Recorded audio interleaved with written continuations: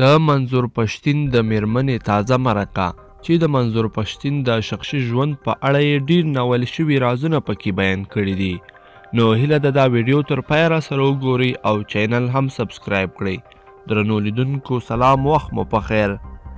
اغلی اسیا پښتون له منظور پښتون سره په 2014 کال کې په دوه ویشت کلنۍ کې په خیبر پښتونخوا دیره اسماعیل خان ظفر آباد کالوني د منظور پښتون په یوه کرایه کور کې واده وکړ.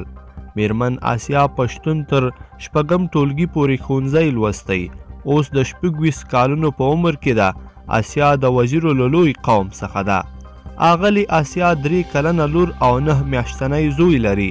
د لور نوم یې ګلورینه پښتون او د زوی نوم یې هیواد پښتون دی آسیا داسې ښکاري چې هوښیار او ښه مدیره میرمن وي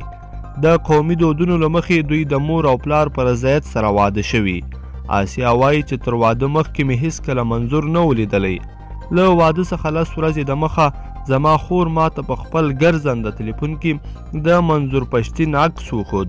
زه وارخطا شوم او حیرانه شوم خړ پړ او د یو ځورېدلي کلیوال انځور ته ورته راته یو عکس تر سترګو شو چې دا به څه وي دا یو څه ویرونکی و زما لپاره ځکه چې منظور په هغه وخت کې مشهور نه و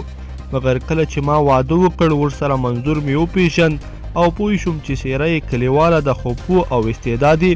د یو لیډر په څیر دی میرمن اسیا خپل واده د خدای لویه ډالۍ وبلله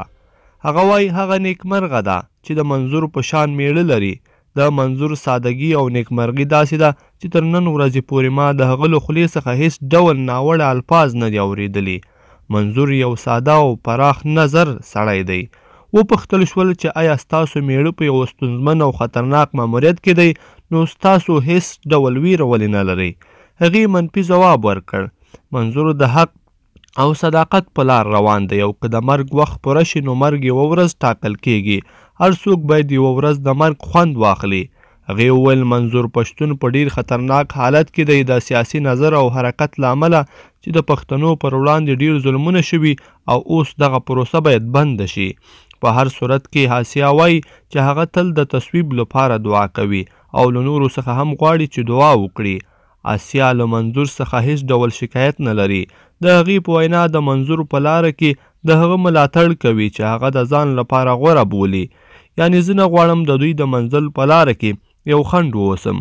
اسیا وايي له واده وروسته مې کوم سفر نه دی کړی. له منظور سره کله کله منظور ټینګار کوي چې راځه زما سره په سفر لاړه شه خو زه یې مخالفت کوم زه ډیره خوښه یم منظور دری خوندې لري چې زما اندرندې کیږي او خواښې مې ډیره خوشحاله ښځه ده او خسر مې هم ډیر مینه ناک انسان دی همدا علت دی چې له خسرګنۍ سره خوښه یم هیڅ ځای ته مې د تګ زړه نه کیږي او اوس مې د ژوند هیلې دوه اولادونه دي چې د مور مینه ورکوم او د ښو زده کړو پلان ورته لرم